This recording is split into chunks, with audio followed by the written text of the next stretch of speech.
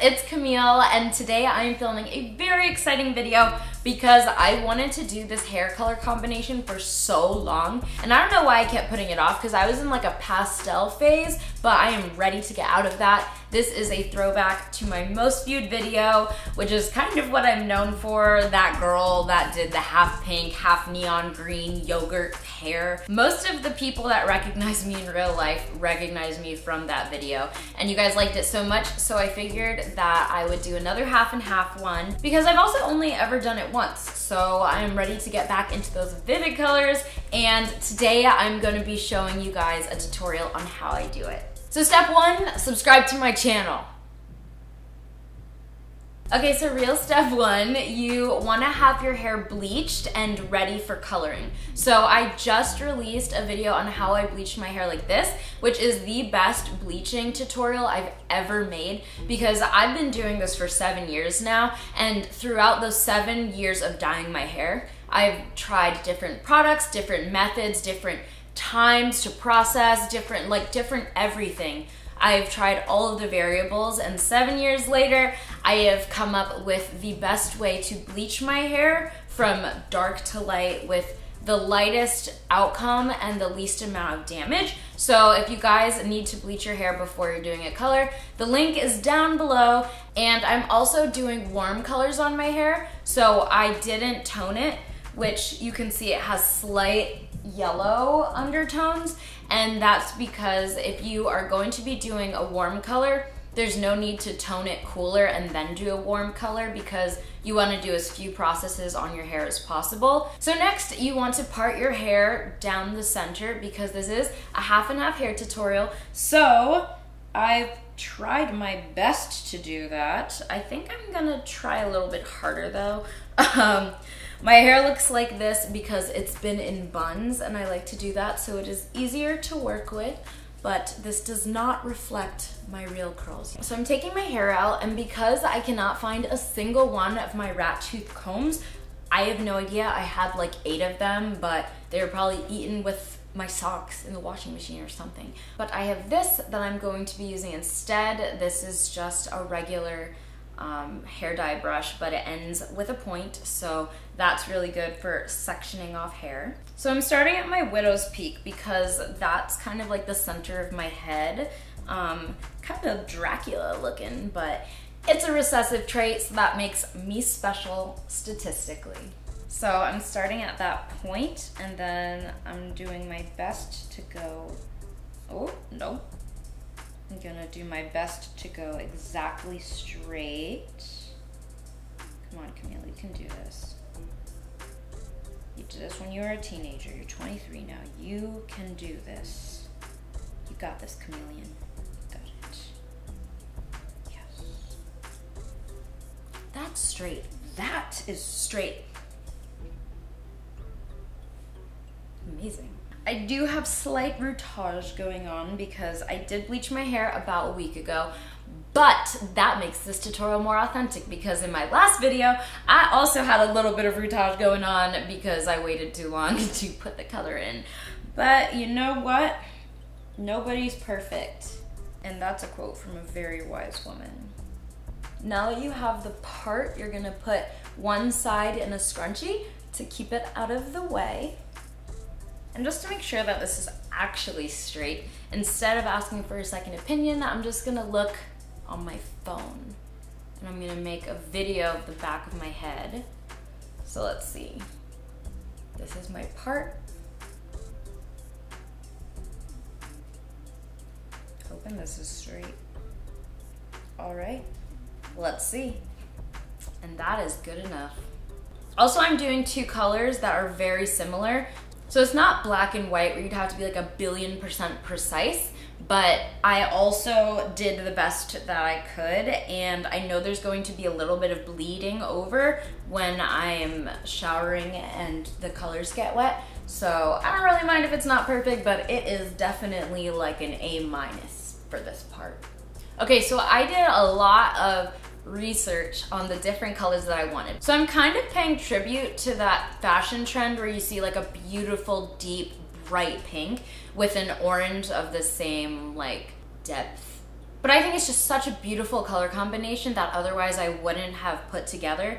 So I checked out a bunch of different brands of dyes and what I did was cut off a little bit of my hair and I tested it on all of the different colors because I wanted to see what colors would show up best on the base that I'm working with. And I wanted really pigmented colors. And also you can't always tell from just looking at them in the bottle. So I like to test on my actual hair over white paper towel so you can really truly see what color you're working with. So after lots of consideration the two dyes that I decided to use are the Clairol Flare Me Turn Their Heads Red. And this is not red. This is orange. I don't know what they were talking about, but once you swatch it, then you can see the true color. And that's why I always test out the real color on paper towel or on my hair. So this is the orange that I'm gonna be using. And I really like that it comes out like black. Like you can see how much pigment is in there because other oranges like unfortunately the Arctic Fox one, which I was expecting a lot more out of, is just really like clear and diluted. So always double check on that.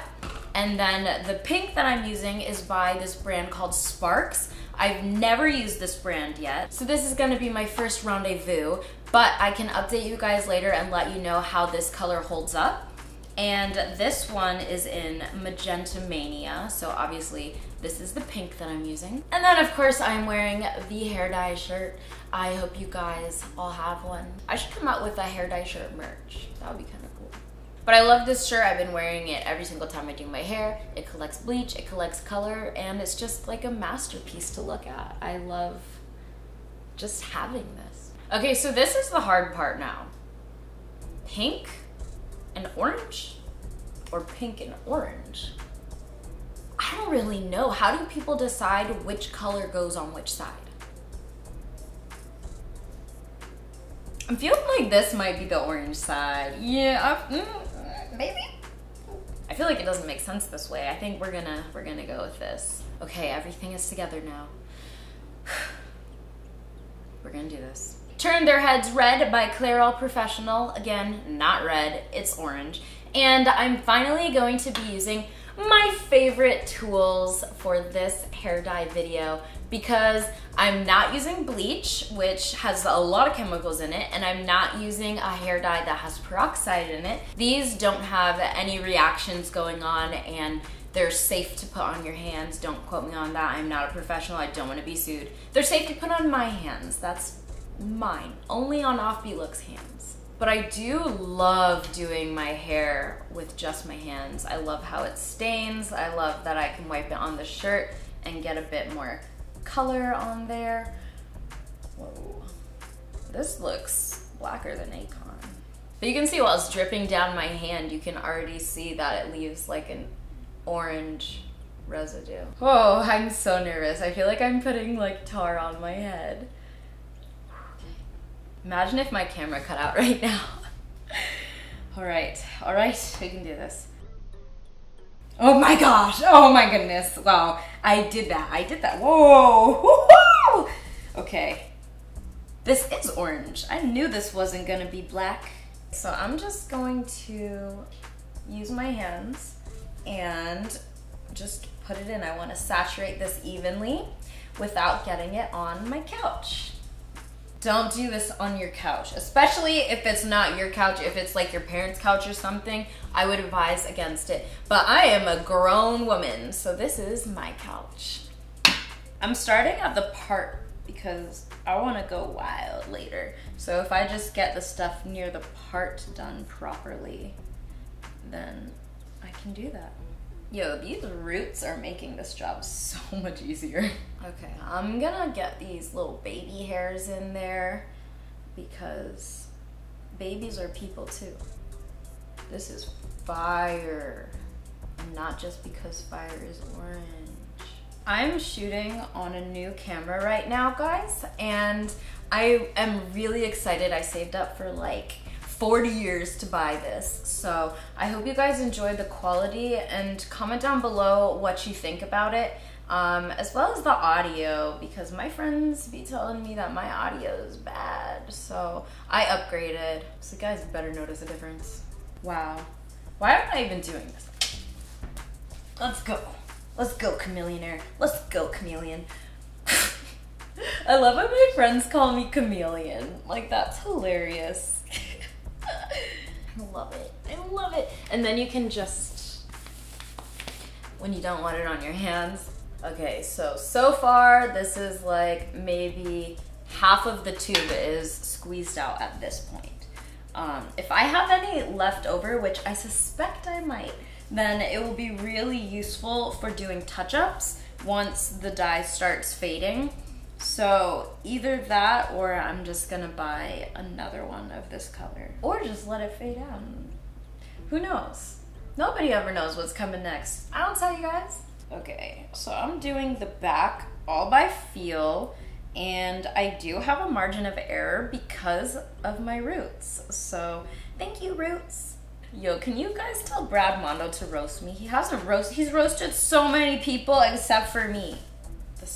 Top part is definitely good. Just gotta get underneath. I can't even believe this. My hair has not been anything like this color in so long. So this part is pretty saturated. This is what it should look like when you're done applying the color. So you can totally see that every part is the same color and it won't come out patchy. I normally just finish a side and then flip it to the other side, so I keep almost doing that just for muscle memory, but don't do that because you'll ruin the other side. I also started with the orange because it's a lighter color and I feel like if I got a little bit on the other side, it would still be okay. I really appreciate all of the nice things you guys have been saying to me lately on the internet. It really makes me happy. You guys are the reason that I smile. Okay, I might be using the whole tube. I'm so nervous that I'm gonna need more than one tube now. I also like to squeeze the chunks of hair once they're saturated just to make sure that everything is touching something.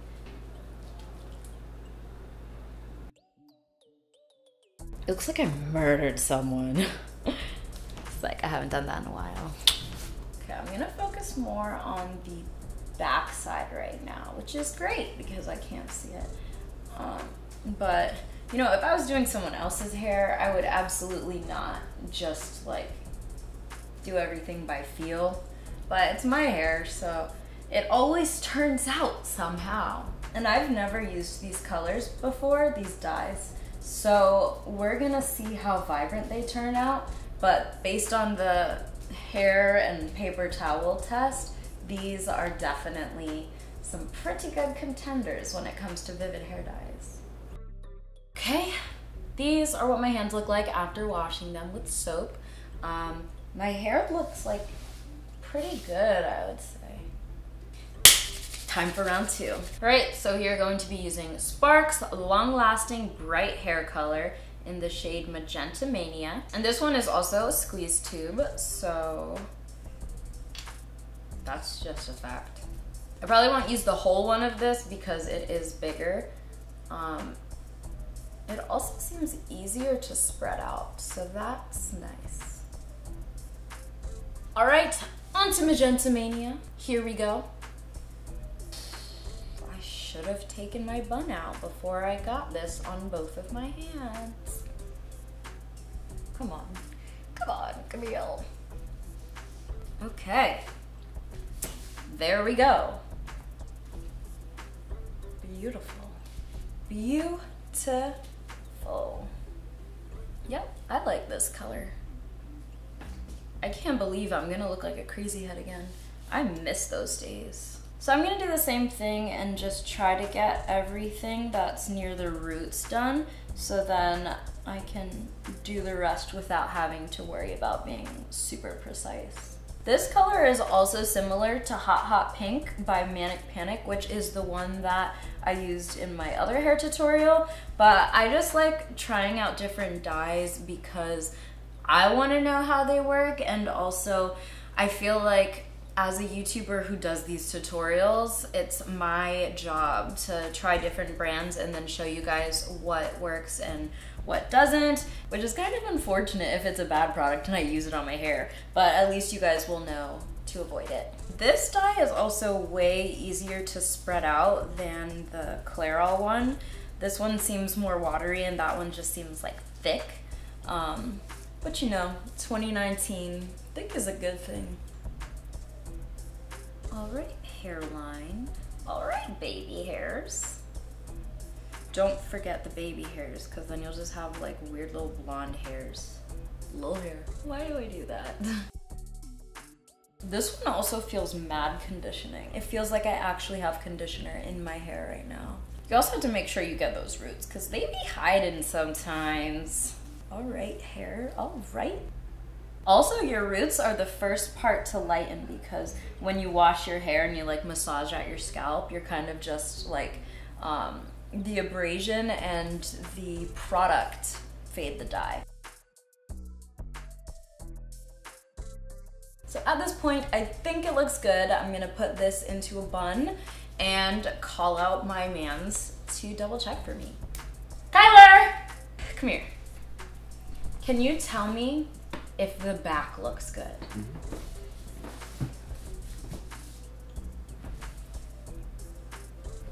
Oh no, why are you taking so long? No, it looks good. Yeah, it looks good. Can you take a video on my phone mm -hmm. and show me? And the viewers. Ready? I'm ready. One, two, three.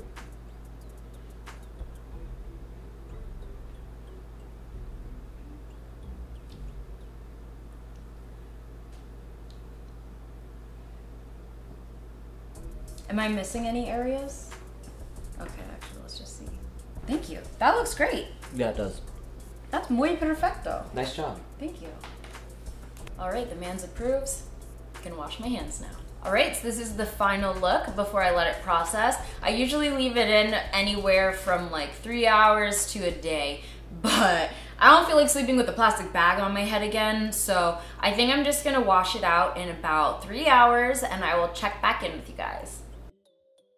Alright, so as I said earlier, you can leave this in for three hours up to like however long you want and I was gonna wash it out, but then I got tired and then it's late at night and I don't wanna wash my hair and go to bed with it wet and then I'd have to redo it to style it anyways. So I'm just gonna go to bed with this in my hair.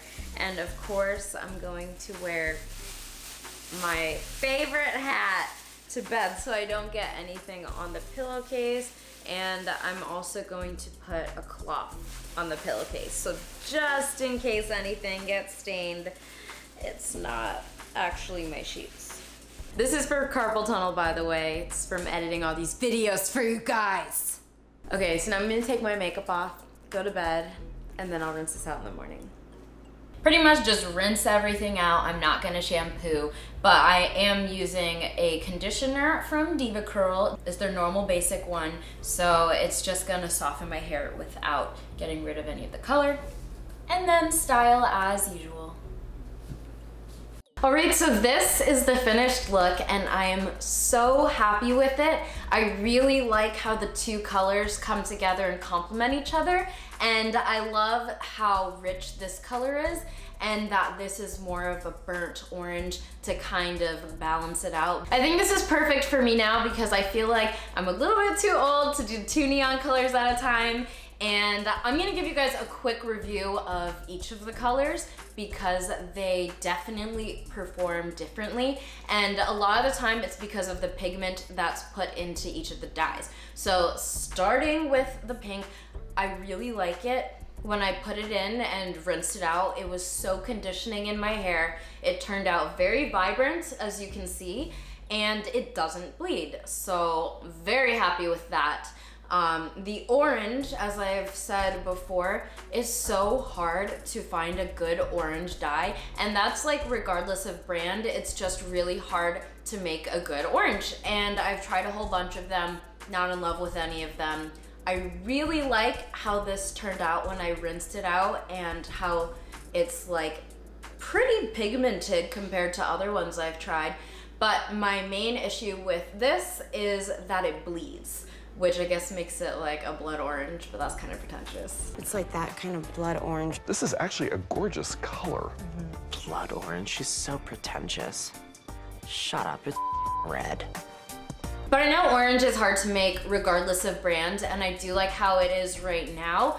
But when I say it bleeds, what I mean is that every time you get it wet, some of the color comes out. Like it will be a stream including some of the orange and that's what's gonna fade it really quickly. So I know this side isn't gonna last super long, but I really like how it looks right now and I'm glad I tried out new products and got to share my results with you guys. So this is what my hair looks like after two washes. One was the initial one getting the dye out and then I did a deep conditioner, a keratin treatment, and then one wash. This one didn't bleed this side bled until it dried, which is another cool thing. Like once it's dry, you can wear white clothes and it's fine. But anytime it's wet, forget about it. My hair is also like this for a photo shoot, so that's why I've had it curled around like a really skinny curling wand and the curls look like this. I really love it how it's voluminous and just like a different type of curl. Um, but if you wanna see how this color looks on my natural hair texture, you can follow me on Instagram and you can see pictures there. So yeah, that's it for today's video. I hope you guys liked it. If you did, don't forget to subscribe to my channel and follow me on my socials linked in the description box down below. Comment your thoughts on this hair look down below and let me know what you think. All right, wish you all a happy, healthy life and I will see you in the next one. Kisses. Mwah.